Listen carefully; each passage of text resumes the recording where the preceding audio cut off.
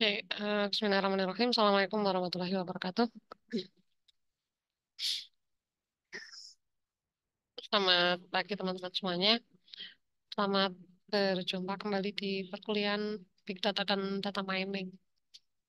Sebelum kita mulai kegiatan perkuliahan eh, pada pagi hari ini, kita buka terlebih dahulu dengan doa berdoa menurut agama dan kepercayaan masing-masing. Saya persilakan.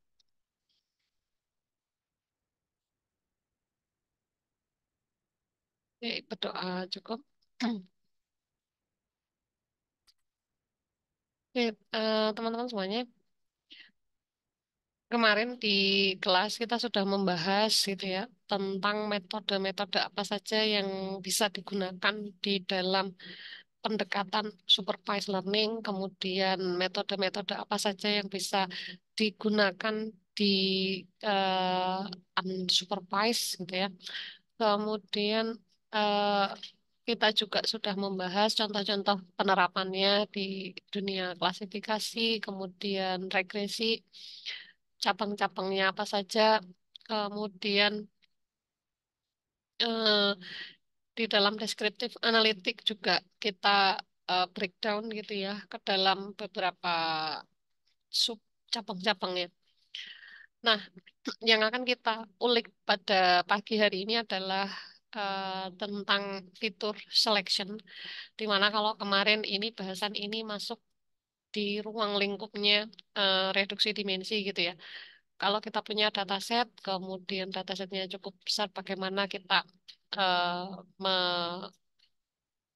mengecilkan dimensi tanpa mengurangi informasi gitu ya. Nah, uh, kemarin juga sudah kita singgung bahwa yang namanya fitur seleksi atau seleksi fitur itu adalah uh, tahapan yang perlu kita lakukan di dalam uh, preprocessing. Jadi sebelum kita menambang data atau sebelum kita memining data, maka hendaknya kita mempertimbangkan satu tahapan yakni yang kita sebut sebagai feature selection. Nah, apa itu feature selection? Kita akan memilih gitu ya, memilih dan memilah mana sih uh, fitur yang relevan dan mana fitur yang tidak relevan. Setelah kita temukan mana yang relevan, mana yang tidak relevan, kita akan pakai yang relevan dan kita akan buang yang tidak relevan. Ada beberapa pendekatan terkait dengan uh, feature selection. Teman-teman bisa gunakan metode filter method, kemudian bisa gunakan wrapper method, dan yang ketiga bisa gunakan embedded method. Embedded method ini adalah kombinasi antara filter dan wrapper. Hmm. Untuk praktikum kali ini kita akan menggunakan data student perform. Data ini sebenarnya adalah data sintetis atau data yang dibuat-buat gitu ya, bukan data real. Saya juga nggak ngambil data dari dataset publik, bukan gitu. Melainkan ini benar-benar data yang di-create gitu ya. Nah, saya belum bikin short linknya. Nanti saya akan uh, edit file modulnya gitu ya dengan menambahkan link uh, datasetnya Anda bisa pakai di mana. Nah, di sini datasetnya sudah saya insert di local storage. Local storage-nya di sini nama datanya adalah studentperform.csv. Oke, okay, uh,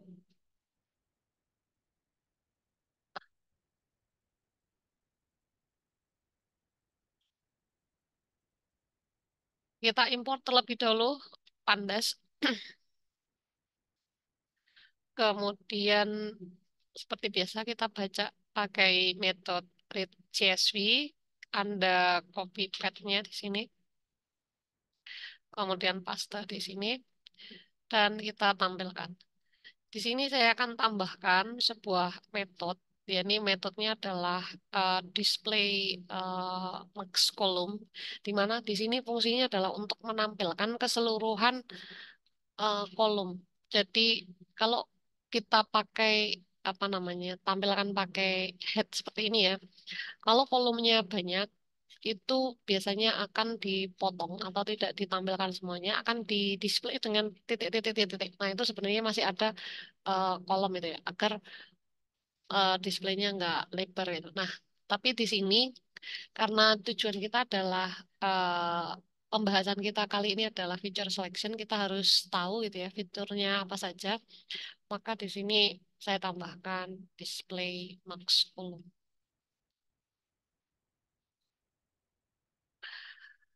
Nah, data student perform atau performa mahasiswa kayak gini ya. Di sini isinya apa saja? Di sini yang pertama ada ID mahasiswa.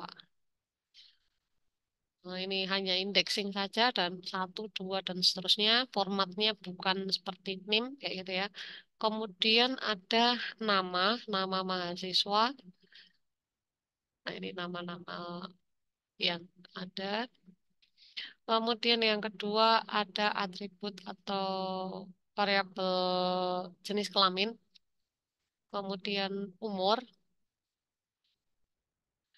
Kemudian ada lagi jurusan. Kemudian ada konsentrasi. Nah, konsentrasi ini adalah detail dari jurusan. Konsentrasi informatika ada eh konsentrasi dari jurusan informatika ada pemrograman, jaringan, multimedia, dan seterusnya. Kemudian ada asal. Asal ini kotanya, ini ada Yogyakarta, Jakarta, dan seterusnya. Kemudian ada status kos. Status kosnya ini binary, iya dan tidak. Kemudian uang saku, nah uang saku ini numerik gitu ya, dalam bentuk rupiah. Kemudian penggunaan paket data, ini juga uh, numerik seperti itu. Kemudian kendaraan, apakah dia menggunakan kendaraan atau tidak. Nah ini jenis kendaraan yang dia gunakan. Nah ini ada motor, mobil, sepeda. Kemudian penggunaan gadget atau kepemilikan terhadap gadget itu ya. Apakah dia punya laptop atau tidak, tipe laptopnya apa. Nah ini ada datanya. Kemudian status maritalnya juga ada. Kemudian nilai IP semester 1, kemudian nilai IP semester uh, 2, nilai IP semester 3, dan nilai IP semester 4.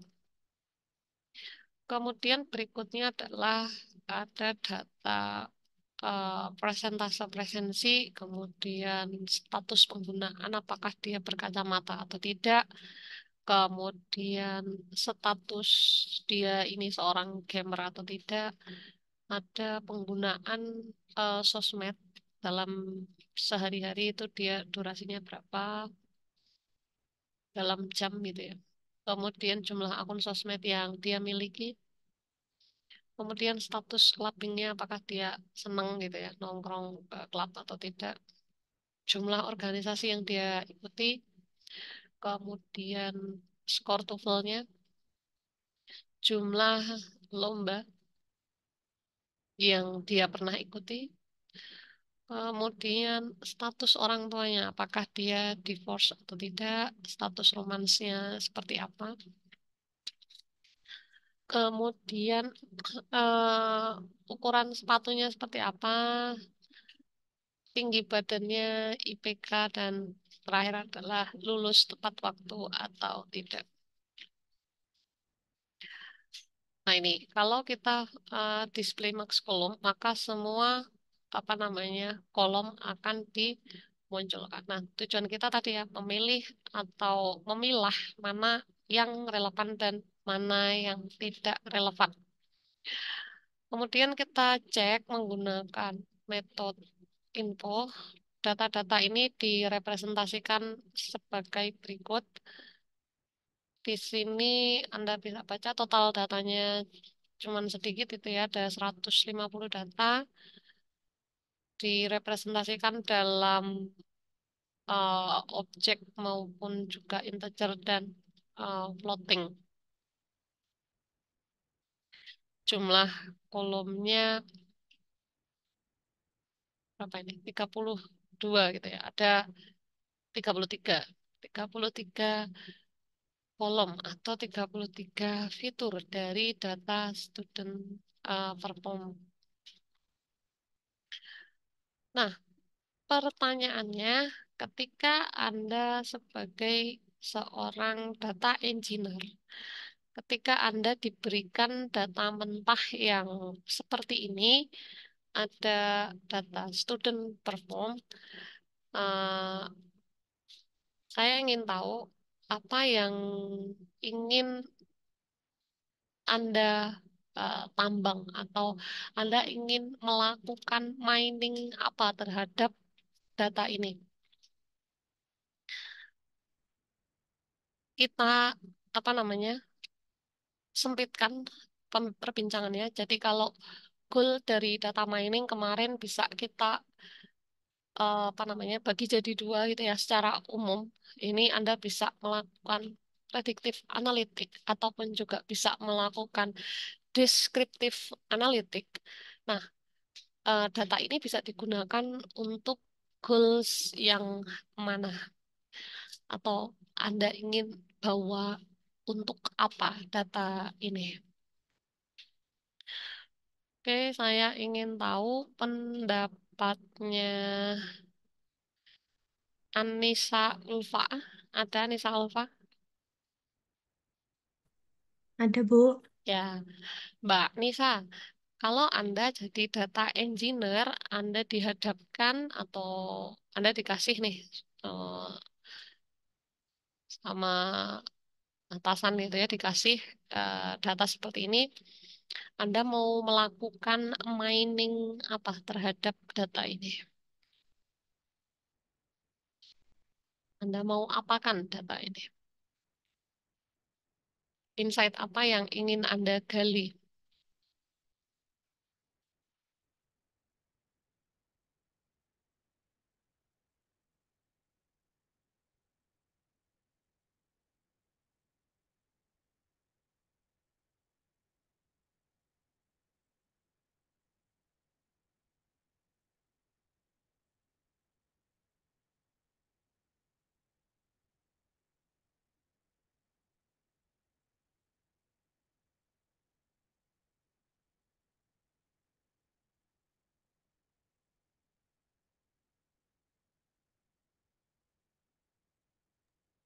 Uh, mengeksplorasi datanya lebih lanjut gitu, Bu. Apa yang ingin kamu explore? Apa yang ingin kamu cari tahu? Tentang profil Tentang mahasiswa mungkin. tentang Profil mahasiswanya. profil, profil mahasiswa. Uh, seperti apa Mbak maksudnya? Arahnya ke mana nih? Aku masih nggak nangkep. Sa- Kayak Deskriptif, prediktif, ke mana?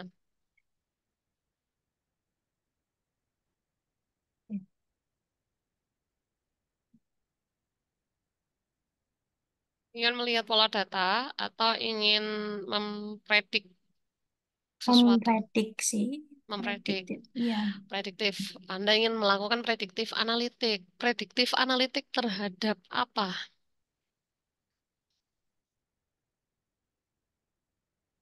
Terhadap itu tadi data mahasiswanya tadi. Iya, apa yang mau diprediksi data mahasiswanya apa? Ini kan banyak banget gitu ya. Lebih spesifik, jadi lebih khusus. itu Anda mau lulus memprediksi apa? lulus tepat waktu tadi. Oh, mahasiswamu ini lulus tepat waktu atau tidak gitu ya. Jadi kalau nanti ada Iya, maba baru ya itu ya, langsung bisa dipredik gitu ya. Dia lulus tepat iya. waktu atau tidak nih masa depannya kayak gitu. Oke. Hmm. Nah, kalau Anda ingin memprediksi lulus tepat waktu atau tidak, berdasarkan apa? Anda ingin memprediksi lulus tepat waktu atau tidak? Eh, Berdasarkan IPK Berdasarkan semester. Heeh. IPK semester. Oke. Kenapa kok Anda memilih IPK bukan yang lain? Di situ kan ada banyak gitu ya eh, opsinya.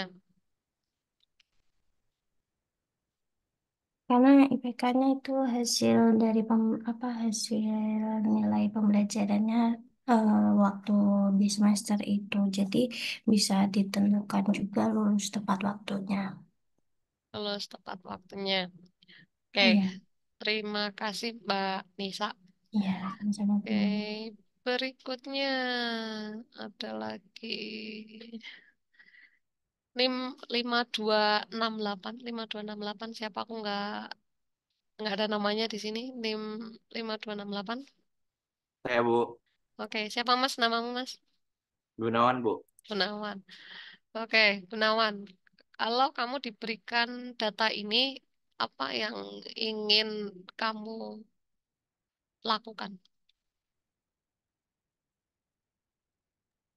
Eh, maksud Ibu melakukan apa ya Mining apa? ini? Mm-mm. Mm-mm. Mining apa? Ingin kamu gali apanya? Kalau saya eh, saya ingin tahu apa sih faktor yang paling berpengaruh ke kelulusan seorang atau performa seorang eh, pelajar atau mahasiswa sih Bu. Karena kalau saya melihat kolom-kolom yang ada ini itu kolom-kolom faktor yang apa ya yang menjadi faktor dari se- seorang pelajar ketika dia menempuh pendidikan. Itu sih Bu yang saya pengen tahu dari data ini. Hmm, yang ingin kamu cari pola pola data atau kamu ingin melakukan predictive analytic? Kalau saya ingin melakukan eh, ya prediktif analitik karena saya ingin memprediksi apa sih faktor yang sebenarnya itu paling mem- mempengaruhi performa dari seorang eh, pelajar atau mahasiswa. Kalau saya sih itu Bu. Oke, berarti ceritanya kamu beranggapan kamu belum tahu nih terhadap eh, keseluruhan faktor yang disajikan di sini. Betul Bu. Heeh, belum. Eh, kalau saya minta kamu berasumsi atau melogika, kira-kira faktor apa gitu yang eh, berpengaruh? Ini boleh satu atau lebih dari Bebas, bebas. itu Bu. Hmm, bebas. Kalau saya lihat sih sebenarnya ada beberapa faktor yang bisa ini ya mempengaruhi ya. Kalau eh, saya bisa lihat itu ada jurusan itu mempengaruhi, Hmm, terus mm-mm, terus apa lagi ya? apa lagi? Em, ntar Bu, saya harus lihat kolomnya satu-satu. Jumlah lomba, Heeh, terus em, persentase persentase presensi, Presentasi, presensi. ya menurut saya itu penting. Oke, tiga ini dulu deh. Aku Ya, pengen tahu alasannya, kenapa sih kok kamu berpikir bahwa konsentrasi itu sangat menentukan seseorang itu lulus tepat waktu atau tidak? karena biasa ketika seseorang menempuh konsentrasi yang dirasanya itu nggak nggak sesuai gitu Bu, dia Hmm, sering ngerasa jadi salah jurusan, sering ngerasa ini lebih ke secara psikologis sama mental sih kalau menurut saya Ibu. Heeh. Terus yang kedua, tadi kamu memilih apa tadi? Eh, Jumlah lomba. nah, jumlah lomba. Kenapa sih jumlah lomba? Apa kaitannya dengan lulus tepat waktu? Karena saya melihat semakin dia itu eh, banyak lomba, artinya dia punya kegigihan yang lebih tinggi untuk mengejar sesuatu. Makanya dia mengikuti lomba yang lebih banyak, pengalamannya lebih banyak. Biasanya ini anak-anak ambis yang ngambil lomba-lomba yang begini. Jadi saya rasa pasti mereka punya kegigihan yang lebih tinggi. Itu sih, Bu. Yang ketiga tadi kamu pilih apa? Skor TOEFL. Tebel-tebel. Why? Karena biasa orang-orang yang tes TOEFL itu bukan orang-orang yang sembarangan. Mereka yang punya kecerdasan secara linguistik ya meskipun bisa diperdebatkan sih tapi kalau menurut saya orang-orang yang biasa punya tes tinggi mereka punya kecerdasan yang lumayan Bu di atas rata-rata itu sih menurut saya Bu Oke, Thank you, Gunawan. Ah, menarik. Dua orang punya intuisi yang berbeda-beda terhadap data, punya asumsi yang berbeda-beda terhadap data. Nah, itu yang pengen saya gali dari kalian. Begitu kalian melihat data, apa sih asumsi kalian? Apa sih feeling kalian terhadap data itu? Nah, feeling kita akan kita perkuat dengan kita buktikan pakai kode atau pakai tahapan-tahapan mining tadi, gitu ya. Oke, dua orang menginginkan melakukan prediktif analitik, pengen nebak, pengen memprediksi apakah seorang mahasiswa ini uh, lulus tepat waktu atau tidak ketika dia punya beberapa kriteria atau beberapa uh, apa namanya uh, atribut gitu ya, beberapa karakteristik.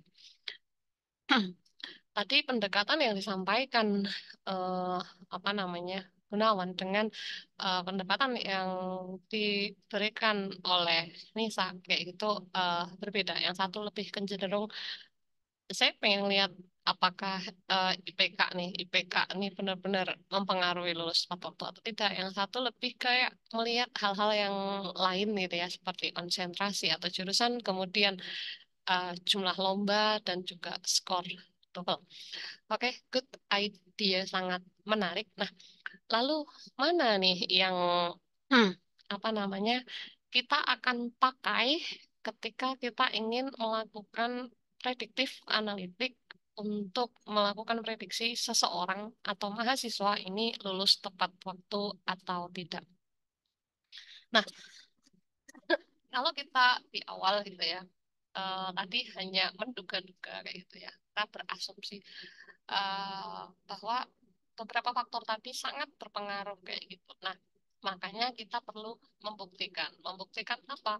Faktor-faktor apa sih yang uh, relevan dan mana yang tidak relevan. Nah, di sini ada banyak atau ada tersedia banyak faktor atau banyak atribut atau banyak fitur gitu ya terkait dengan uh, data student perform. Nah, mana yang menunjang uh, atau yang ada korelasinya yang relevan dengan lulus tepat waktu atau tidak karena kita mau melakukan prediksi terhadap lulus tepat waktu atau tidak, maka kita harus cari mana yang relevan dan mana yang tidak. Oke, kita tinggalkan asumsi kita terlebih dahulu. Kita akan uh, preproses data ini sehingga kita akan benar-benar tahu uh, mana yang relevan atau tidak. Hmm.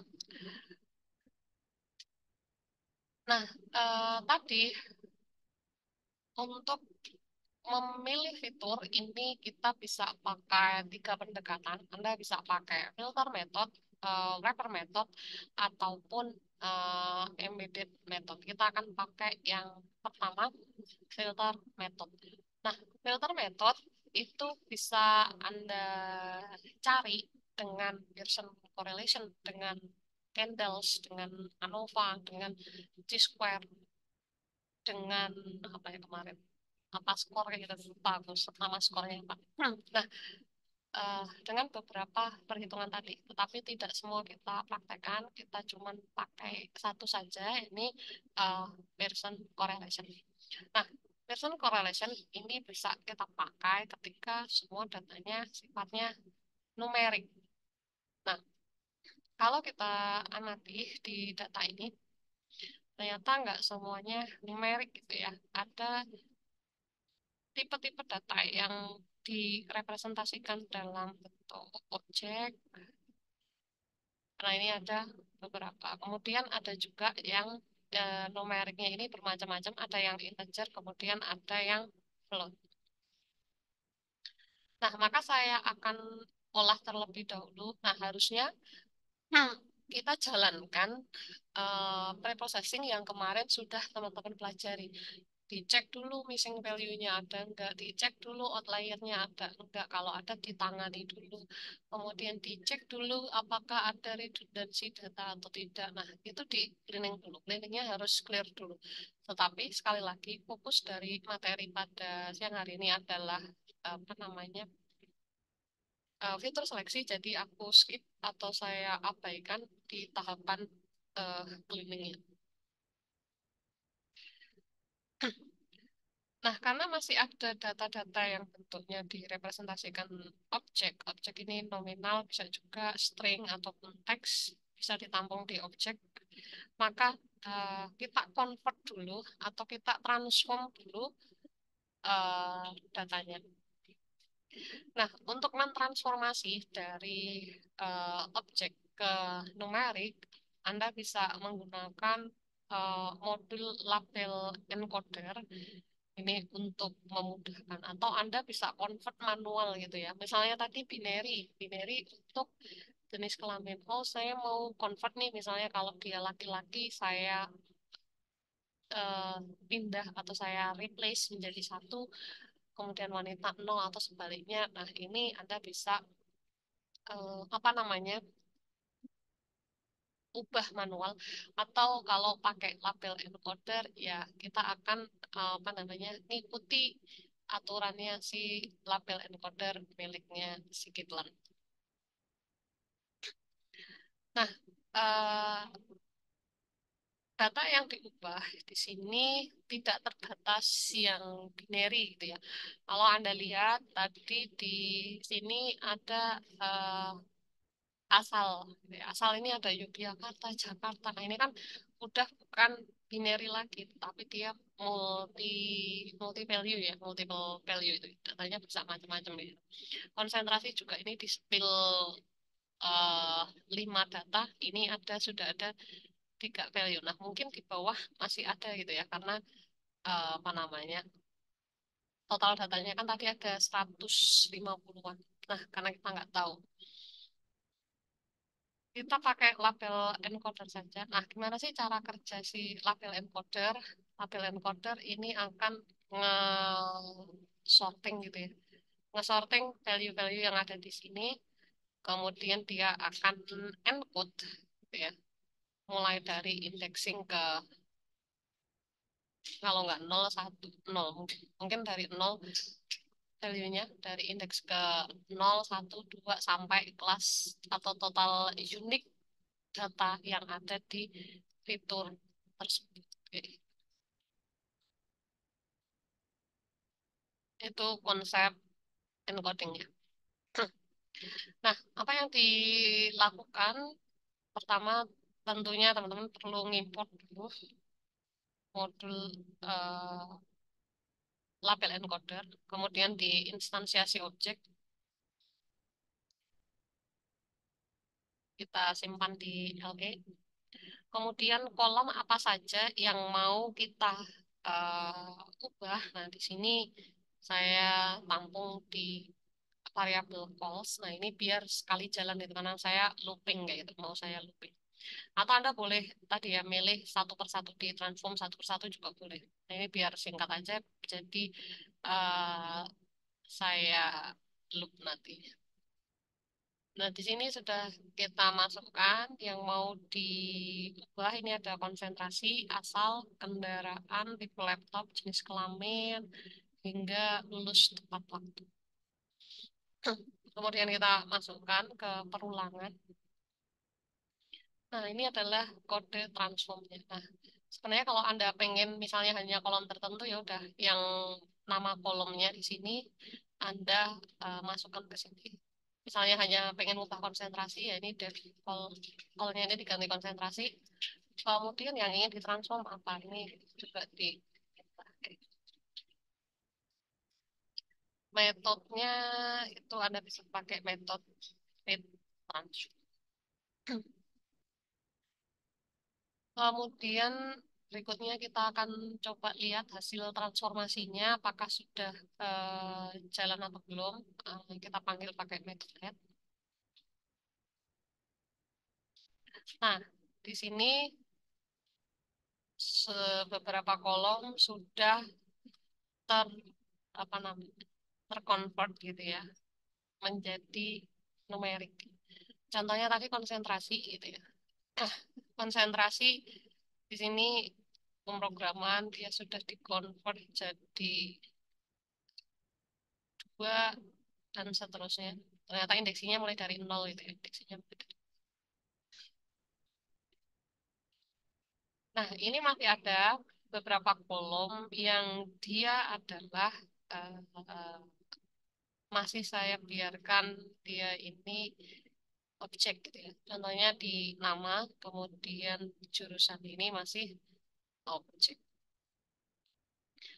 Nah, di sini kalau saya lihat atributnya ini uh, ada dua atribut yang saya anggap tidak penting. Ya, ini ada ID dan juga nama.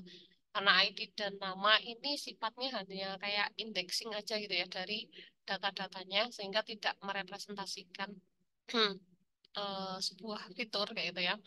Jadi saya ingin hapus itu ID dan juga nama. Kemudian berikutnya jurusan. Nah, jurusan ini kalau Anda lihat dia didetailkan dengan uh, konsentrasi gitu ya.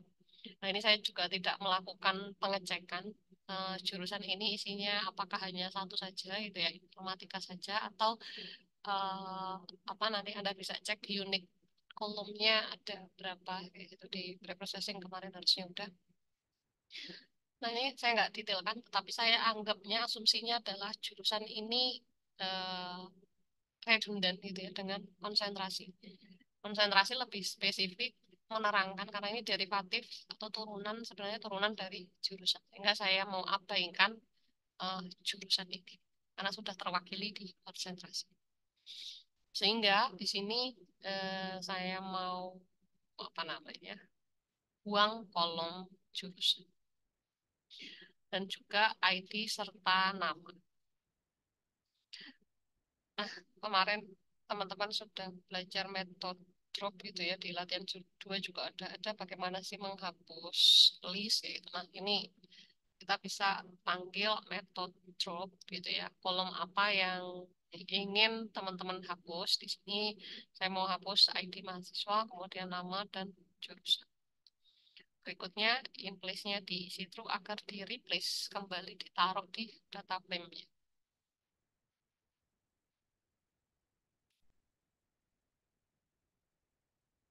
Oke, kita akan cek kembali pakai info aja biar kelihatan lebih ringkas gitu ya. Nah, ini ID sama nama sudah nggak ada, kemudian jurusan juga sudah tidak ada kemudian semuanya sudah numerik. Berikutnya kita masuk ke filter method gitu ya. Yang akan kita coba pada praktikum kali ini adalah kita akan pakai Pearson correlation.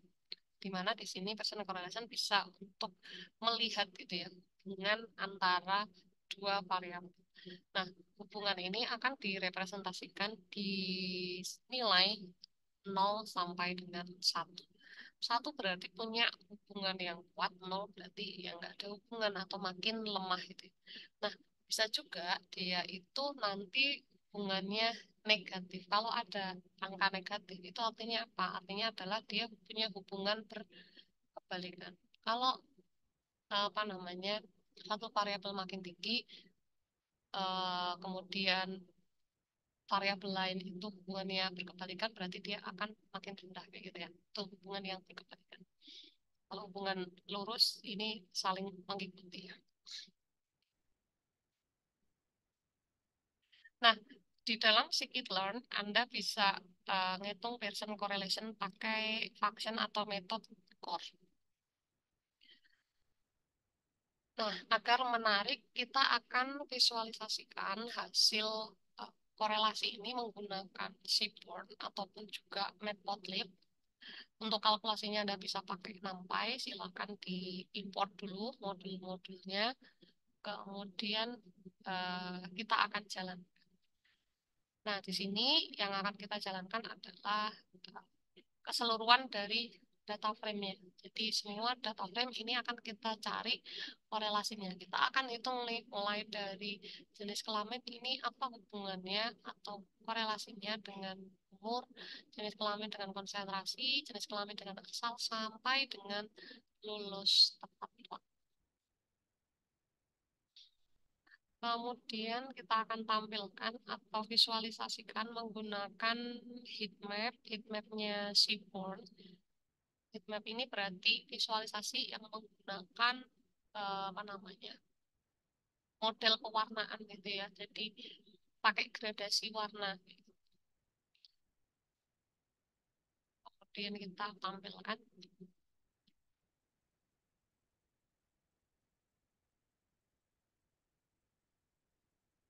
Nah, di sini Anda bisa lihat dan sebenarnya Anda bisa atur-atur ya apa namanya uh, palet warnanya itu dari kode berapa sampai berapa silahkan masuk eksplorasi ke si langsung gitu ya kalau ingin mengeksplor di situ. Nah, ini kalau Anda lihat nol ini direpresentasikan atau makin nggak ada, makin negatif itu ke kuning pucat gitu ya, kuning pucat itu. Kemudian mulai ada korelasi ini di jingga. Kalau korelasinya kuat, dia akan direpresentasikan di hitam sehingga dalam sekali lihat Anda sebenarnya mudah gitu ya, lebih mudah gitu. Kalau saya mau lihat yang korelasinya tinggi, Anda cukup cari di sini yang warnanya tadi ya menguat ke warna yang bold, warna yang warna yang mendekati hitam itu dari biru sampai Nah, ini contoh-contoh korelasi yang kuat.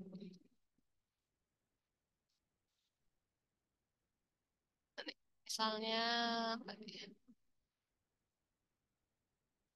Nah, tadi menariknya tadi teman-teman uh, tadi Nisa ya pengen memprediksi lulus tepat waktu berdasarkan IPK gitu ya. Nah, di sini kita lihat korelasi antara IPK dengan lulus tepat waktu. Nah, di sini ternyata memang cukup tinggi gitu ya sekitar 0,58. Jadi IPK memang mempengaruhi uh, pengaruh kuat gitu ya terhadap lulus tepat waktu. Kemudian tadi uh, Gunawan mengatakan bahwa oh uh, apa namanya? Sama tadi apa ya psikologi tadi.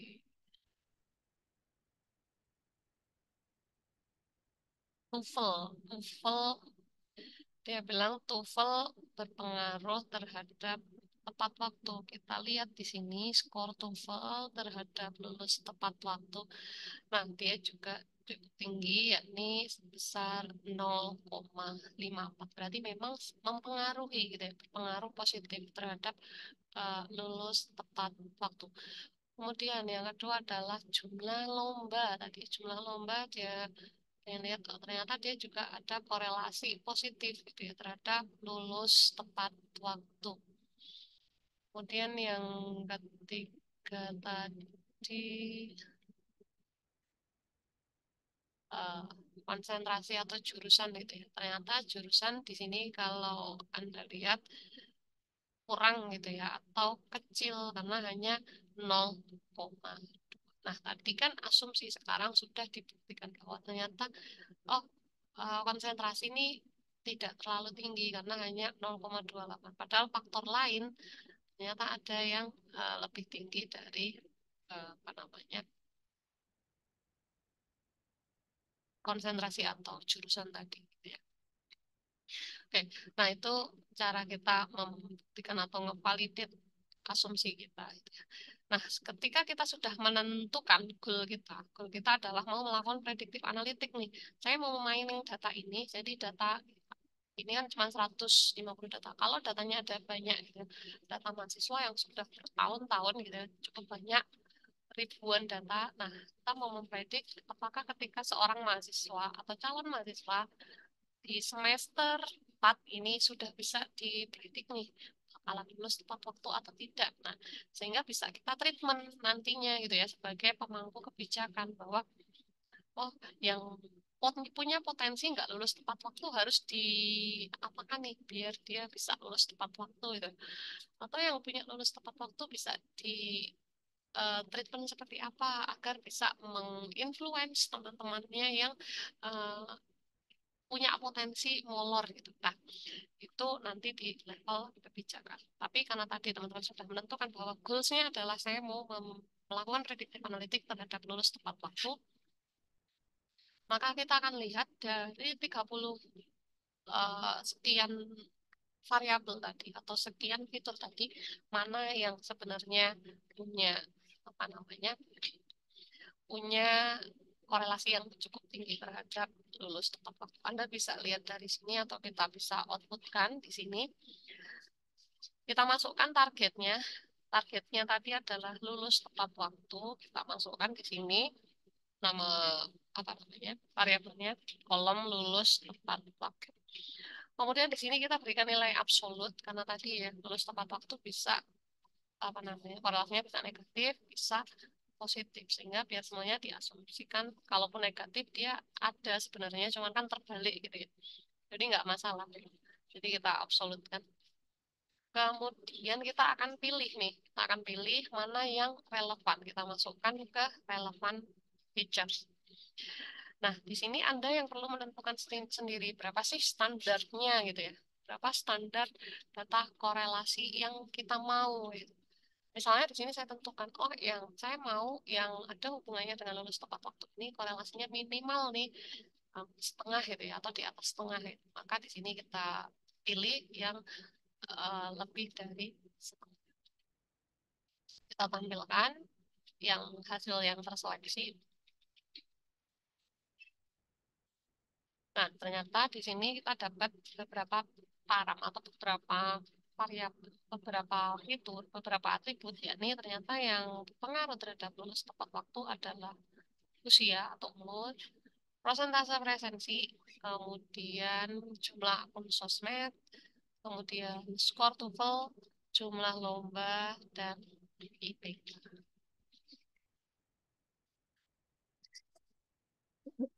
Kalau kita coba ingin naikkan nih, misalkan saya mau naikkan jadi misalnya 0,6 gitu ya.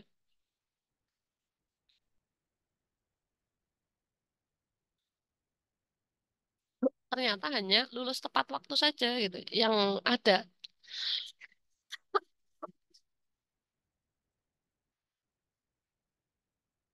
Maka berarti sebenarnya korelasi variabel-variabel yang ada di sini itu paling tinggi ya kalau terhadap lulus tepat waktu hanya nggak nyampe 0,6.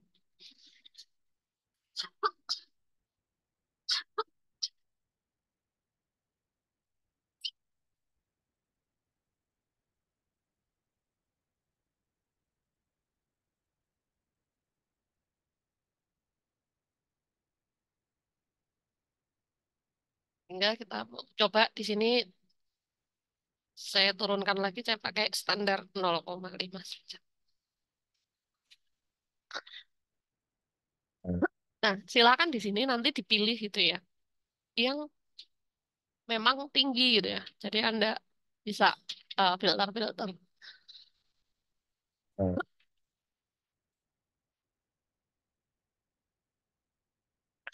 Kemudian berikutnya yang kedua, yang kedua Anda bisa pakai yang namanya wrapper method. Nah, wrapper method ini adalah hmm, apa namanya? Kita perlu nih uh, sebuah algoritma machine learning untuk mengetahui apakah apa namanya filter tadi berpengaruh atau tidak karena karena bagaimana? Karena nanti kita akan coba modeling gitu. Setelah dimodeling, dilihat atau dievaluasi uh, apa namanya berpengaruh nggak nilainya bagus nggak hasil modelnya bagus nggak kayak gitu. Nah itu proses itu kita looping. Nah uh, wrapper method ini ada dua pendekatannya. Pendekatannya adalah pakai forward selection, yang kedua dengan uh, backward. Dua metode ini saling berkebalikan. Kalau forward itu berarti kita mulai dari satu fitur dulu. Kita pakai satu fitur di modeling, kemudian nambah lagi kalau dua fitur, gimana kinerjanya meningkat atau tidak, tiga fitur, dan seterusnya kayak gitu. Nah, nanti yang eh, yang menunjukkan kinerja bagus kita simpen gitu ya. Value kita simpen di di sebuah variabel nanti kita bisa ambil base feature-nya. Kalau uh, backward itu kebalikannya. Kita pakai semuanya dulu, baru nanti kita pilihin, keluarin satu-satu gitu ya, yang nggak uh, relevan. Kita masuk ke forward selection. Nah, tadi bagaimana menyeleksinya? Nah, menyeleksinya adalah dengan menentukan yang namanya nilai signifikansi level. Contohnya di sini kita pakai signifikansi level atau tingkat kepercayaannya berapa. Kalau kita pakai uh, signifikansi level 0,05, maka di sini kita pakai nilai trust atau nilai kepercayaannya sebesar 95 persen. Artinya ya 90% fitur ini benar-benar mempengaruhi atau meningkatkan kinerja dari si uh, target tadi. Gitu. Nah, ngujinya pakai apa? Ngujinya adalah dengan uh, apa namanya melihat nilai dari p-value-nya. Kalau kurang dari signifikansi, maka uh, apa namanya dimasukkan gitu ya ke base paramnya. Kita import dulu. Di sini kita perlu import modul warning. Tujuannya apa? Tujuannya adalah untuk me, apa ya, agar nggak tampil gitu ya beberapa error yang mungkin muncul yang itu sebenarnya uh, bukan error gitu ya. Jadi kayak warning doang kayak gitu.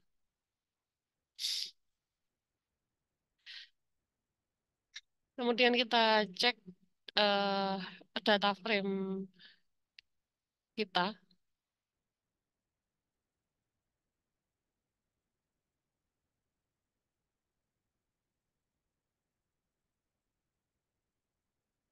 Nah, data frame kita seperti ini ya. Tadi yang sudah numerik semua.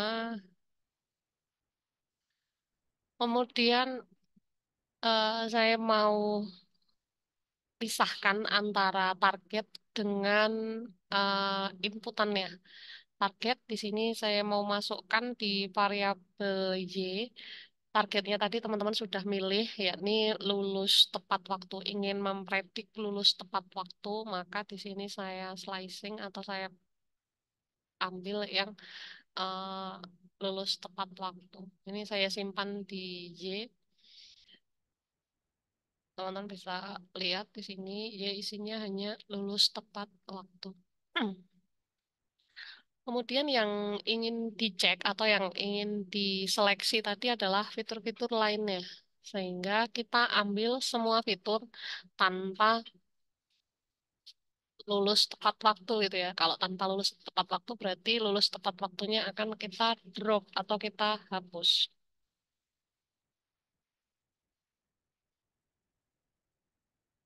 Saya simpan di X.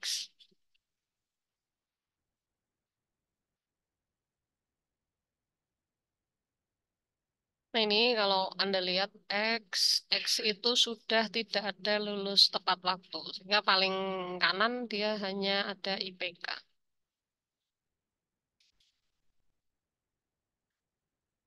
Kemudian berikutnya di sini kita perlu ngimport modul uh, start model gitu ya. Hmm. Submodulnya adalah API. Kita aliaskan dengan SM. Kemudian berikutnya kita buat uh, function untuk melakukan forward selection. Nah, functionnya ini uh, kita butuh tiga inputan. Ini kita akan inputkan datanya atau parameter apa fitur apa yang mau kita seleksi, kemudian targetnya terhadap variabel mana sih targetnya tadi, gitu. kemudian signifikansi levelnya yang kita mau, atau berapa nilai confidence yang Anda ingin mau. Sini kita pakai signifikansi levelnya 0,05. Nah, eh, proses komputasinya ini akan pakai NumPy sehingga datanya di-convert dulu dalam format list. Anda eh, apa namanya fiturnya tadi atau datanya tadi yang semua uh, data-datanya ini kita simpan di dalam list. Jadi uh, kita convert list seperti ini. Kemudian kita buat list namanya adalah base features nanti untuk menampung apa namanya data fitur yang terpilih yang paling bagusnya apa. Nah, di sini kita lakukan perulangan tadi ya, ngeset eh, listnya satu persatu. Nanti kita akan tambahkan, kemudian kita inisialisasi dulu nilai eh, apa namanya p value. Kemudian kita akan modeling tadi ya menggunakan eh, SM tadi. Nah, ini di eh, modelkan. Nah, setelah di modeling nanti dapat nih diukur. Diukur apanya? Nilai P value-nya. Kalau dia kurang dari eh, apa namanya? signifikansi level, maka dimasukkan di base feature-nya. Kemudian kita bisa return atau kita outputkan nilai base feature-nya. Kita jalankan dulu di sini uh, functionnya atau metodenya, metode forward selection. Kemudian kita panggil nama metodenya adalah forward selection. Nah, di sini butuh tiga inputan, yakni data, target, dan signifikansi level. Anda masukkan datanya atau fitur yang ingin diseleksi. Fitur yang ingin diseleksi adalah X tadi ya. Ini yang tanpa target. Kemudian Y, Y ini adalah targetnya. Tadi lulus tepat waktu. Kemudian signifikansi levelnya, karena di sini sudah diberi nilai default, maka di sini bisa kita kosong. Kalau ini nggak di default di sini, maka Anda bisa tambahkan di sini sebuah value lagi, nilainya berapa. Nah, di sini sekaligus plus data gitu ya. Jadi nggak cuma kolom-kolomnya. Jadi semua datanya dipakai, dihitung gitu ya.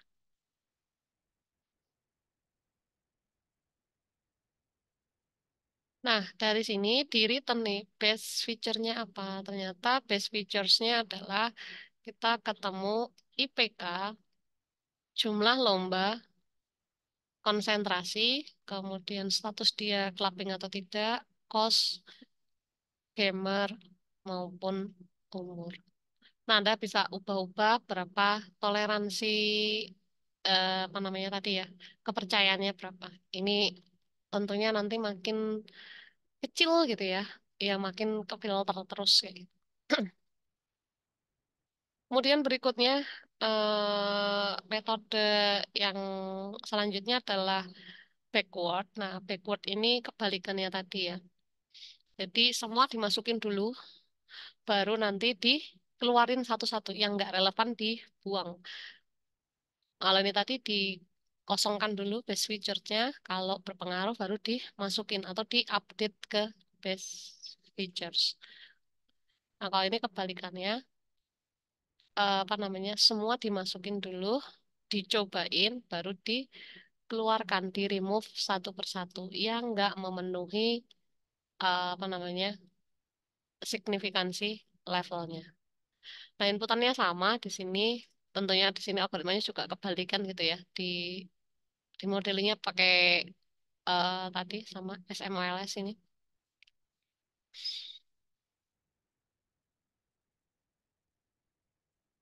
Inputannya di sini butuh data, kemudian target, dan kita coba pakai signifikansi level yang sama 0,05.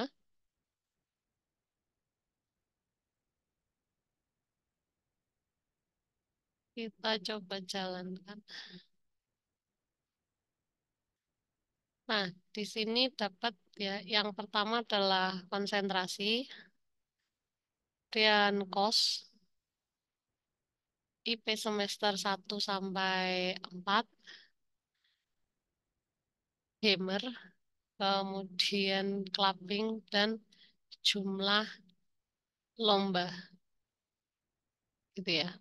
Uh, di sini.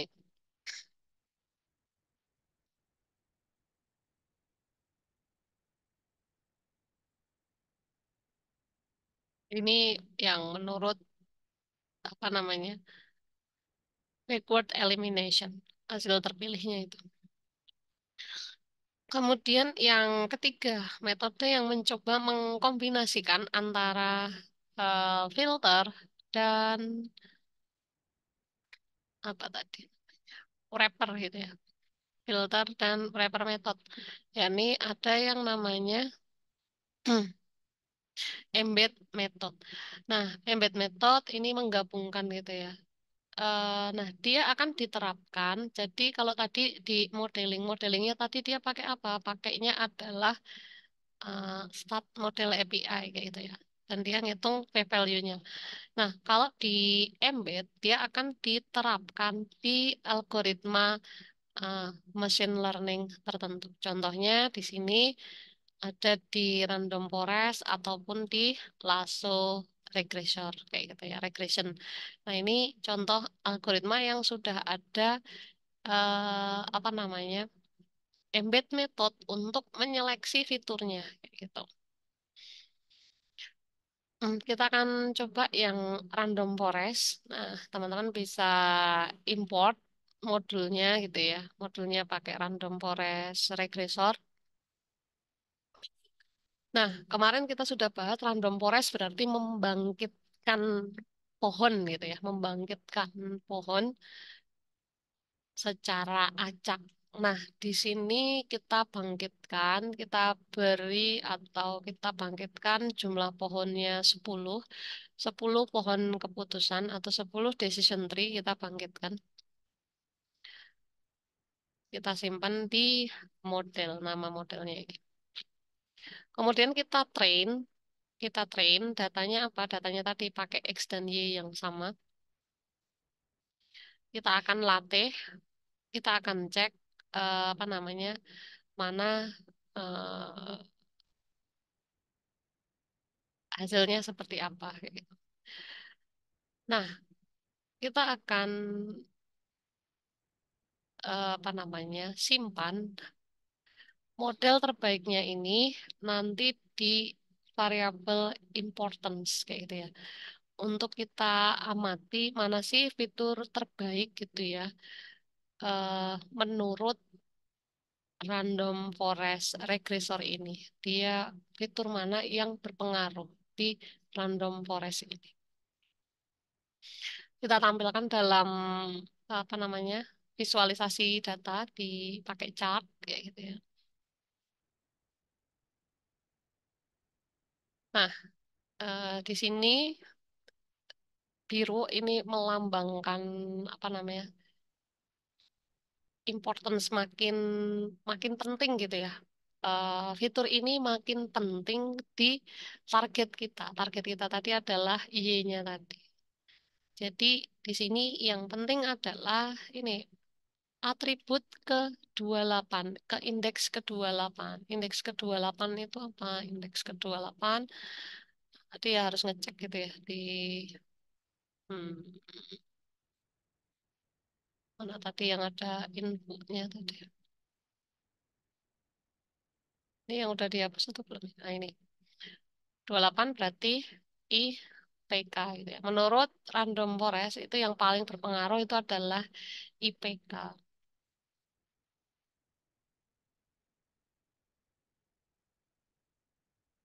Kemudian yang kedua, dua, tiga, dan seterusnya. Nah, ini Anda bisa pilih.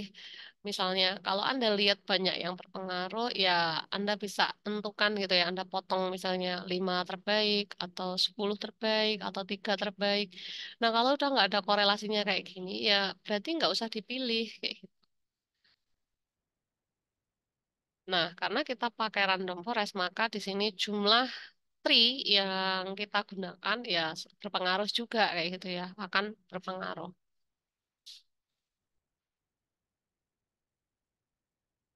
Kita coba tampilkan result TF-nya. Nah, ini tadi ya hasilnya. Yang paling berpengaruh tadi yang IPK karena yang paling tinggi 0,4. Kemudian yang kedua adalah konsentrasi. Konsentrasi 0,25. Nah, ini berbeda dengan temuannya si backward, dengan temuannya uh, forward selection, dan lain sebagainya.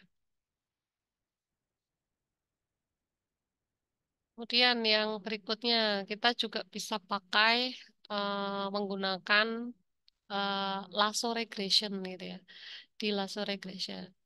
Nah, di sini tentunya Anda butuh yang namanya eh, modul lasso gitu ya. Lasso di sedikit lah. Nah, kita tambahkan beberapa modul lain-lainnya untuk memudahkan penggunaan atau generate model, yakni kita pakai pipeline, kemudian grid set gitu ya. Grid set ini fungsinya untuk eh, mencari gitu ya, mencari param untuk mengoptimalkan si lasso regressionnya. Kemudian standar scaler tadi ya untuk mengubah jadi datanya ini agar rentangnya eh, terbatas. Jadi diubah lagi. Jadi kalau tadi Anda lihat di sini, ini kan baru ditransform dari kategorikal ke numerik atau dari objek ke numerik. Tetapi rentangnya kalau Anda lihat di sini masih beda-beda kayak gitu ya. Yang satu hanya binary, yang satu sampai eh, 200 ribuan, yang satu sampai rentangnya berapa, yang ini hanya 4, koma sekian sampai sekian. Nah, ini rentangnya beda-beda. Nah, di laser regression kita coba di sini kita scaling dulu gitu ya. Kita samakan rentangnya. Disamakan rentangnya pakai standar scaler. Model, kemudian modelingnya pakai lasso. Nah, pipeline ini fungsinya adalah kalau ada rangkaian proses ini bisa kita gabung jadi satu. Jadi kita scaling sama uh, modeling kayak gitu. Kemudian uh, kita gunakan grid search ini untuk mencari param terbaik. Lama seperti di latihan kemarin ya, ketika saya bahas tentang KNN itu. Ketika kita pakai K3 dan K8, mana yang lebih bagus gitu. Nah, sama di di lasso regression ini ternyata ada parameter yang berpengaruh gitu ya, yang bisa mempengaruhi hasilnya. Ini yang namanya alfa, nilai alfa di lasso regression sehingga kita optimal kan kita cari mana sih alfa yang bagus gitu ya. Kita train, kita uji, kemudian eh, apa namanya bagi datanya gimana? Kita bagi data dengan seperlima data, seperlima untuk testing, empat per lima untuk training.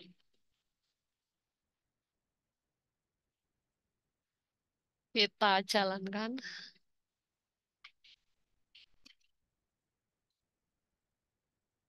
Kemudian kita train. Nah, ini metode fit ini untuk ngetrain data gitu ya, atau ngelatihnya.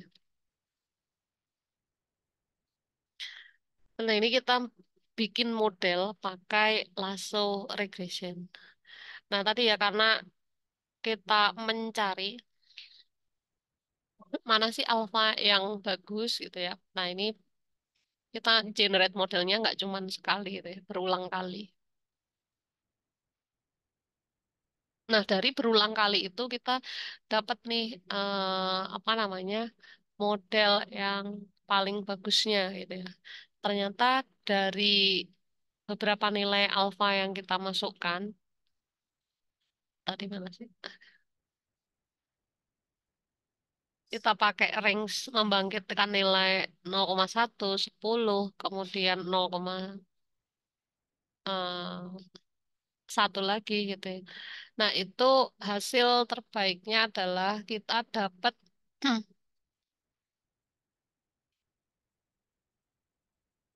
di alfa 0,1. Kemudian hasil param atau fitur yang berpengaruh di lasso regression ini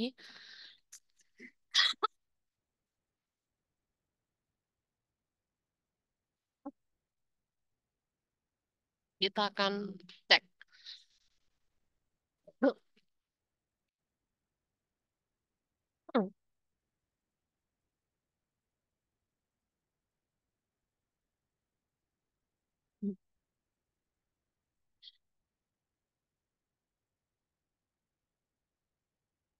Nah, di sini kita akan lihat atau kita akan cari gitu ya eh, nilai koefisien atau apa namanya pengaruh dari setiap apa namanya variabel terhadap tadi settingan eh, lasso regression dengan alpha 0,1.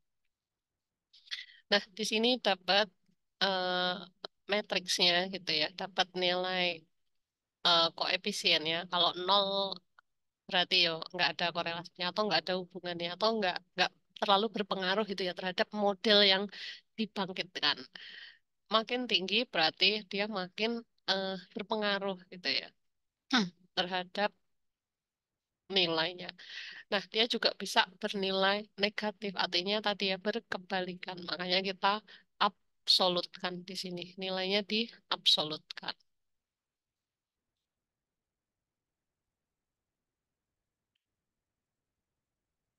Nah, kita akan cek gitu ya. Dari fitur-fitur tadi yang nilai importance-nya lebih dari nol atau yang ada value-nya gitu ya. Kalau nol berarti kan tadi nggak nggak ada nggak keluar gitu ya. Ternyata menurut lasso regression itu yang berpengaruh adalah uh, umur, kemudian jumlah akun sosmed, kemudian jumlah lomba dan juga IPK. Nah ini adalah uh, beberapa variabel atau beberapa atribut yang berpengaruh menurut algoritma hmm, apa namanya lasso regression dengan nilai alfa tadi gitu ya.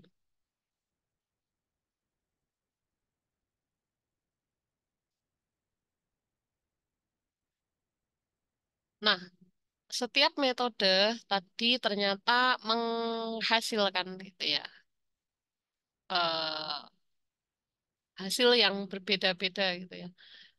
Tadi yang di awal gitu kita dapat nih yang berpengaruh adalah umur, presentase, akun sosmed, kemudian jumlah TOEFL.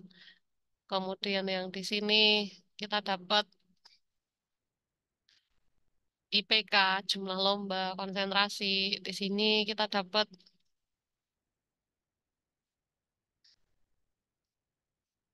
mana tadi? Hasilnya IPK, konsentrasi, jumlah lomba, kemudian di bawahnya kita dapat umur, akun sosmed, jumlah lomba. Nah, ini kan hasilnya berbeda-beda. Kira-kira mana yang paling tepat dari uh, ketiga metode ini? Apakah kita pakai filter method, kemudian apakah kita pakai wrapper method, atau kita pakai embed method? Mana yang paling baik?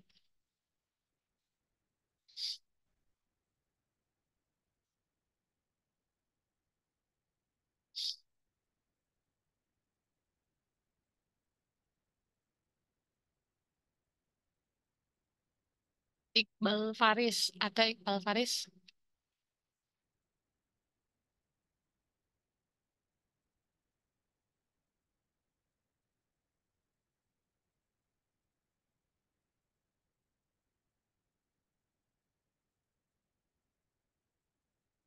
Halo, Iqbal Faris ada?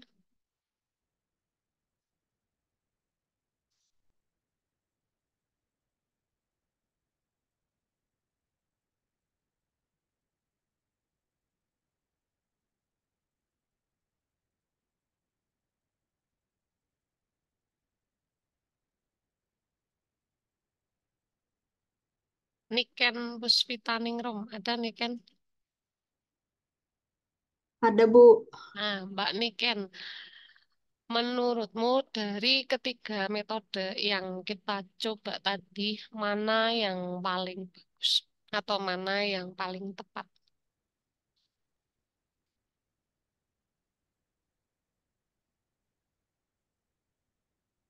Eh, menurut saya sih yang filter method, Bu, karena dia kan ngefilter dari atribut-atribut yang ada di dataset.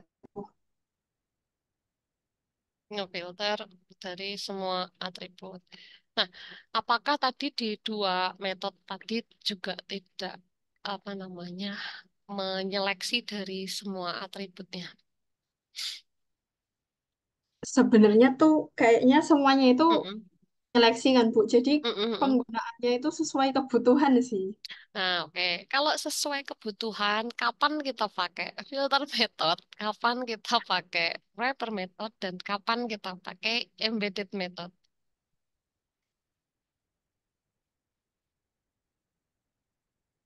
Hmm, Di kondisi apa kita pakai filter method? Kondisi apa kita pakai wrapper method? Di kondisi apa Anda pakai embedded method?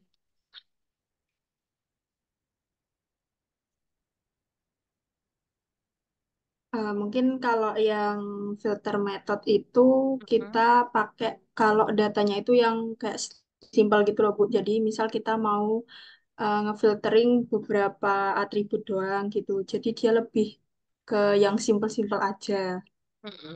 Terus, Untuk yang wrap method mungkin dia kalau dipakainya itu eh, seleksi berdasarkan model kita mau nyari eh, hubungan antara fit- fitur atau atribut itu.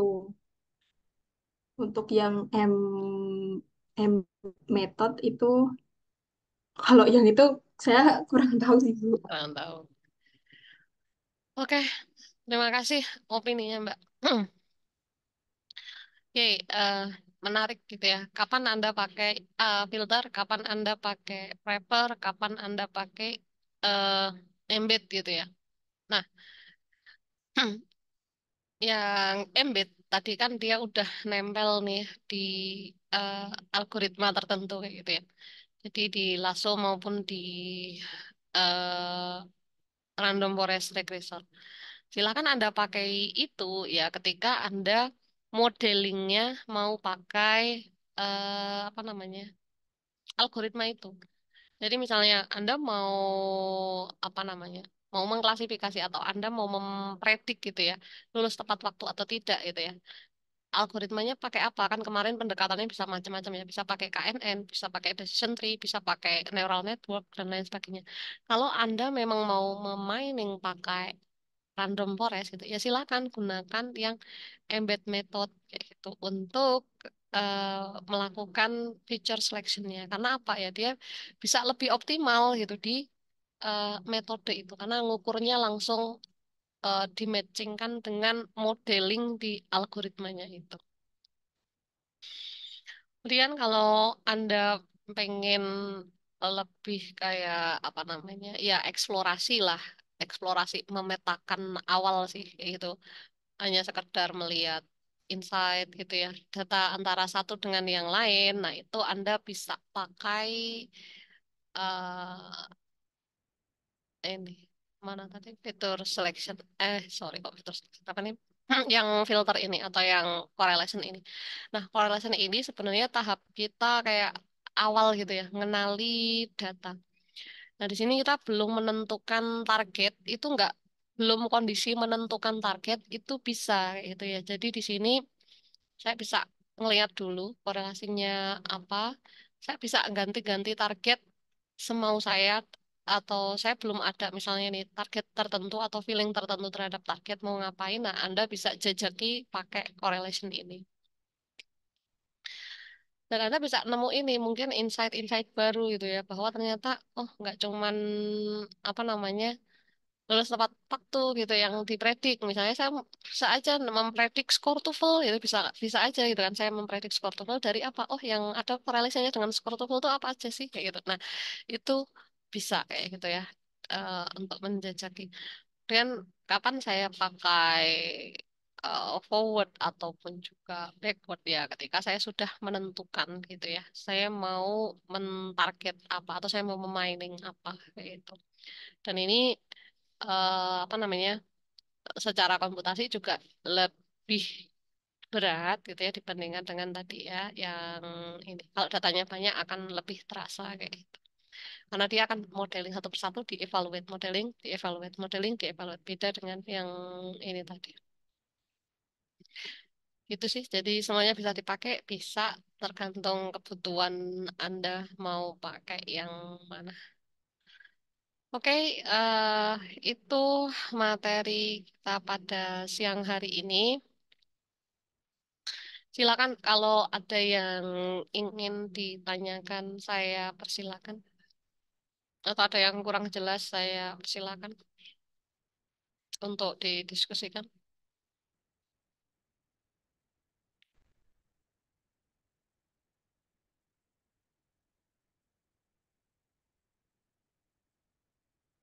Nggak ada? Nggak ada, tidak ada. Hari ini saya free oleh-oleh, nggak ada oleh-oleh gitu ya untuk eh, minggu ini. Disilahkan kalian istirahat, kalian boleh explore apa pun gitu ya terkait dengan eh, materi yang sudah kita bahas. Ada yang happy. Oke. eh oh ya, tadi pagi tadi pagi apa tadi malam gitu ya ada yang eh, nanya gitu ya kalau udah terlambat. Submit masih bisa nggak? Terlambat tiga menit. Iya nggak bisa gitu ya. Eh semuanya udah di set otomatis gitu ya. Kapan deadline? Deadline-nya Anda sudah diberitahu eh apa namanya? Eh kapan batas submitnya sehingga Anda sudah dewasa, Anda harus bisa memanage Anda kapan ngerjain, kapan submitnya. Jadi nggak perlu Anda nanya gitu ya. Kalau udah telat gimana? Ya udah jelas nggak bisa kayak gitu loh. Nggak ada nggak ada pemaafan. Nah, mungkin Anda kesel gitu ya. Udah terlanjur ngerjain dan seterusnya. Ya biar Anda disiplin kayak gitu. Next, Anda kalau udah pernah apa namanya mengalami gitu ya. Eh, oh ternyata kalau telat submit eh, nggak bisa gitu ya, udah nggak bisa.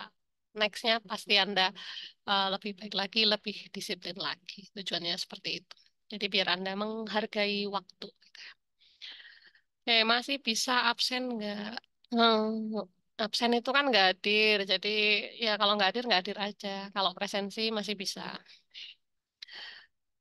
Oke, kemudian Bu IAS itu free nggak? IAS apa Mas maksudnya? IAS.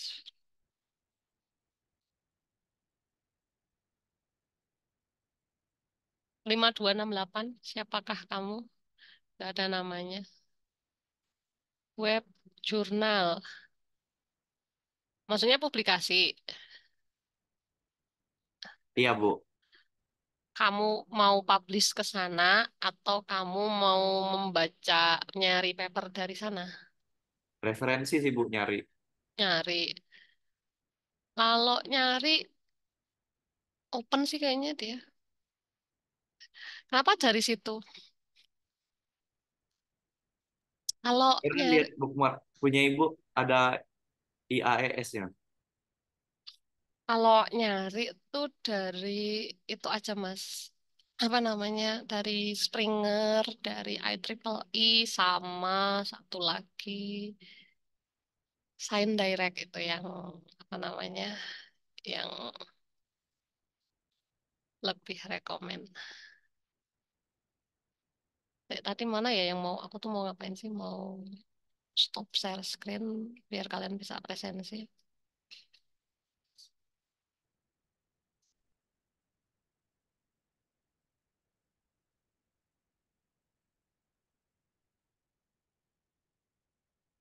Nih.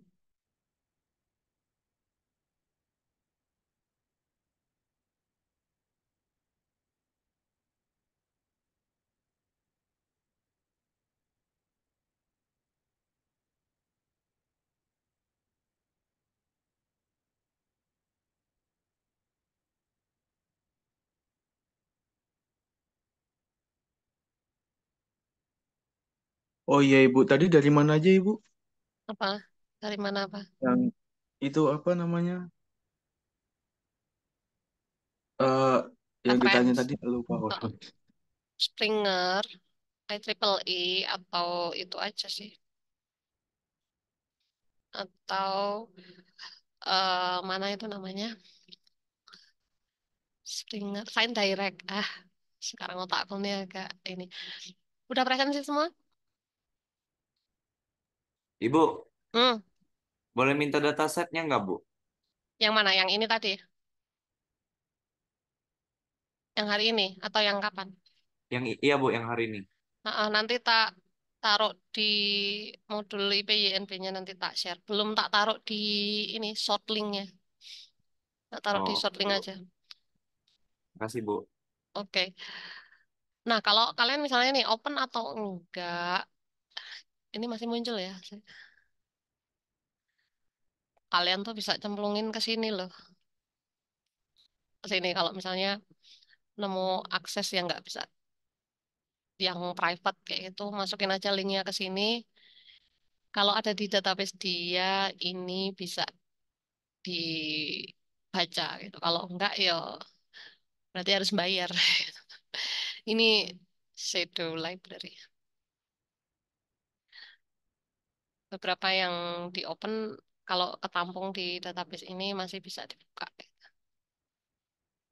Gitu sih. Oh, udah close. Udah habis waktunya. Thank you, terima kasih teman-teman semuanya. Nanti tak apa namanya, tak rapiin dulu linknya sebelum aku share ke Classroom. Terima kasih. Hari ini free. Selamat beristirahat. Selamat Bu. berakhir ke berakhir pekan. Sampai ketemu di hari Kamis yang akan datang. Kurang dan lebihnya mohon maaf. Assalamualaikum warahmatullahi wabarakatuh. Waalaikumsalam warahmatullahi wabarakatuh. Waalaikumsalam warahmatullahi wabarakatuh.